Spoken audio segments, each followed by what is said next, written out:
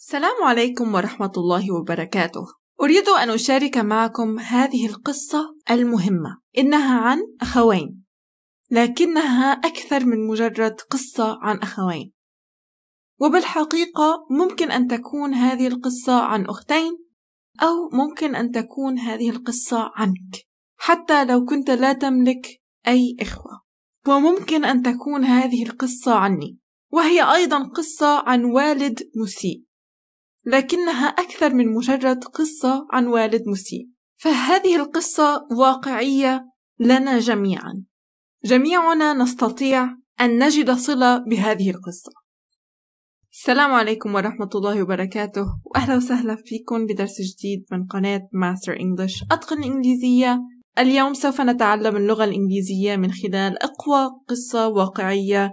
وعنوان هذه القصة هو ماذا تختار؟ هيا لنبدأ بأول مقطع من القصة. The story is about two twin brothers. These brothers grew up with an alcoholic father. He was an angry drunk, bitter, aggressive, and abusive, both verbally and physically. خلينا نتعلم أبرز المفردات the story is about two twin brothers. Twin تاني توأم. Twin. These brothers grew up with an alcoholic father. Alcoholic تاني مدمن على الكحول. Alcoholic. He was an angry drunk. Drunk تاني سكران ثمل. لما نقول angry drunk يعني لما يكون سكران وثمل يغضب يكون غاضبا.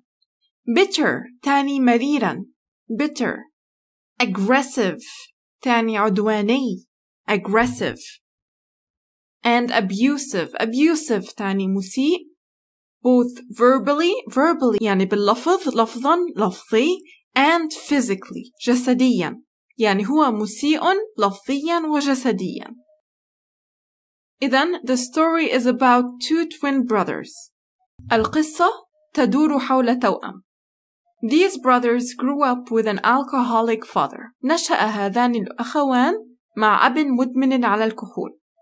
He was an angry drunk. كان ثملا غاضبا يعني يغضب عندما يثمل. Bitter مريرا aggressive وعدوانيا and abusive ومسيئا لفظيا وجسديا verbally and physically. لننتقل الآن إلى المقطع الثاني. This father was the worst kind of example someone could be for their children. And these two twin brothers watched their father all through their childhood, their teenage years, and right up until they moved out of the family home.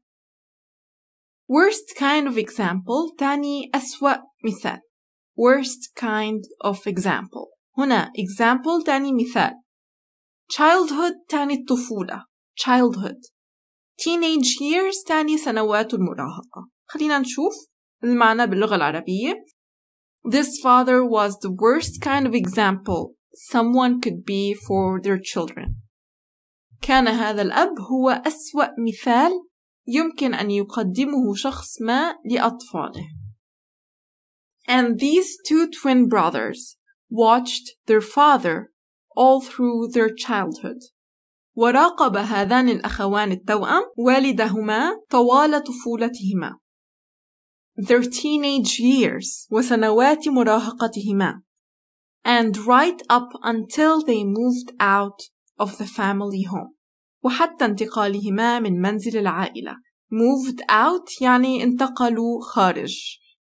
و family home تعني منزل العائلة. لننتقل الآن إلى المقطع الثالث. Unfortunately, their dad never changed. The drinking never stopped.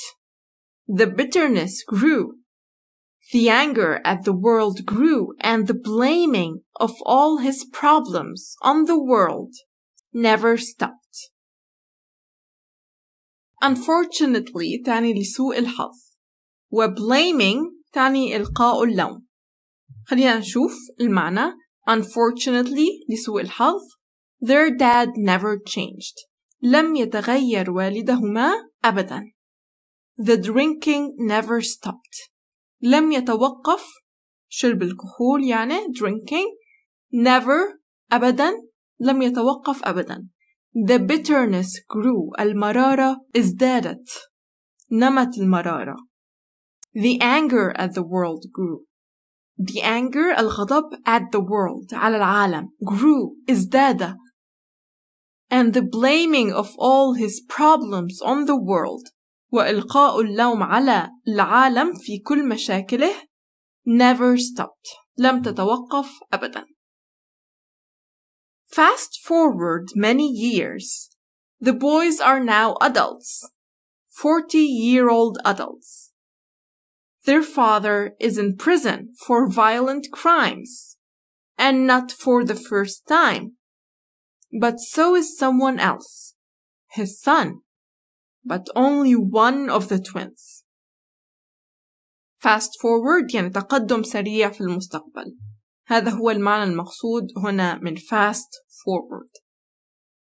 Prison تعني السجن. Prison, prison. و violent crimes تعني جرائم عنيفة. Violent يعني عنيف. Violent crimes. Fast forward many years later. يعني بعد سنوات عديدة نحن تقدمنا سريعا في المستقبل في القصة The boys are now adults. الوالدان الآن بالغان. 40 year old adults ويبلغان من العمر 40 عاما. Their father is in prison for violent crimes. والدهما في السجن بتهمة ارتكاب جرائم عنيفة. And not for the first time. وهذه ليست المرة الأولى. But so is someone else. ولكن هذا هو الحال أيضا بالنسبة لشخص آخر. His son. ابنه. but only one of the twins ولكن أحد التوأمين فقط شو بتظنوا صار بالتوأم الثاني؟ خلينا نشوف The mother of the twins goes to visit her son in prison and she asks the son How did you end up like this? End up يعني انتهى بك الأمر إذن the mother of the twins goes to visit her son in prison the mother of the twins يعني والدة التوأم goes تذهب to visit لزيارة ابنها في السجن her son in prison تذهب والدة التوأم لزيارة ابنها في السجن and she asks the son وتسأل الابن how did you end up like that كيف انتهى بك الأمر هكذا ماذا سيجيبها angered at her question he responds My father was an alcoholic. What choice did I have? He blamed his father for how his life turned out. After all, he was the role model for such behavior. Choice تاني خيار. Choice. Turned out يعني كيف تحول الحال كيف أصبح. Role model تاني قدوة. إذن angered at her question. يعني غاضبا من سؤالها he responds responds يعني أجاب My father was an alcoholic. والدي كان مدمنا على الكحول. What choice did I have? ما كان خياري. يعني لم يكن لدي أي خيار آخر. هذا هو المعنى المقصود من what choice did I have? He blamed his father for how his life turned out. ألقى باللوم على والده في كيفية تحول حياته. مثل ما تعلمنا blaming تعني يلقي اللوم و blamed بالماضي ألقى اللوم. After all في كل حال he was the role model for such behavior كان قدوة كان هو القدوة لمثل هذا السلوك On the way home the mother went to visit the other twin هون ما في كلمة جديدة خلينا نقراها باللغة الإنجليزية أولا ثم باللغة العربية This twin's life turned out different. He has never touched a drop of alcohol in his life. He is happily married with two beautiful children and lives a very happy, successful life. The mother asks the son, How did you end up like this?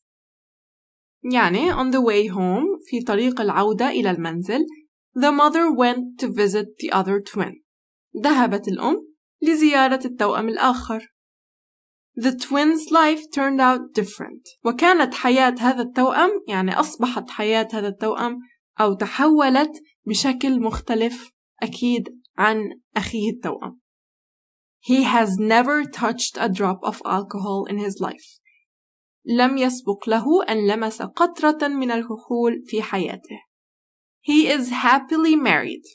وهو متزوج يعني حياته الزوجية سعيدة happily married هذا هو المعنى من happily married متزوج وسعيد with two beautiful children ولديه طفلان جميلان and lives a very happy successful life ويعيش حياة سعيدة للغاية وناجحة successful يعني ناجح The mother asks the son تسأل الأم هذا الابن How did you end up like this?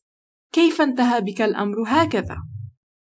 يعني والدك مدمن على الكحول كيف صارت حياتك ناجحة بينما بينما أخاك التوأم حياته مختلفة كليا He responds مثل ما قلنا respond تاني يجيب He responds My father was an angry alcoholic. What choice did I have? يعني يجيب والدي كان مدمنا على الكحول وكان غاضبا ما كان خياري يعني ما كان عندي غير هالخيار I didn't want that life for myself. I remember watching him thinking, that will never be me. No matter what, I wanted the opposite for my life and my kids' lives.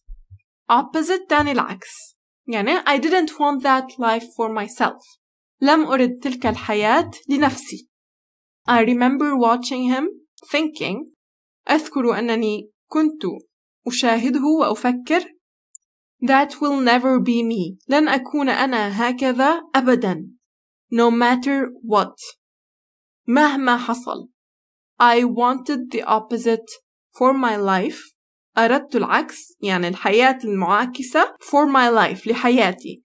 And my kids' lives ولحياة أطفالي إذا هذه هي القصة اللي حبيت أعطيكم إياها لليوم. السؤال هو ماذا تختار؟ كلنا بنمرق بمراحل صعبة. ونحن عنا الخيار إما نطلع بشكل منيح من المواقف من الحالة اللي نحن فيها أو نستسلم ونلقي اللوم على الحياة وعلى كل شي حوالينا. فأنت بإيدك الخيار. إلا شو بتختار؟ شو بتختار تعمل بحياتك؟ هذا كان درسنا اليوم بتمنى يكون عجبكم وبتمنى تكونوا استفدتوا من هذه القصة. اكتبوا لي آراءكم بال comments وإذا حبيتوا هالدرس اضغطوا على زر like وبشوفكن إن شاء الله بالدرس المقبل. السلام عليكم.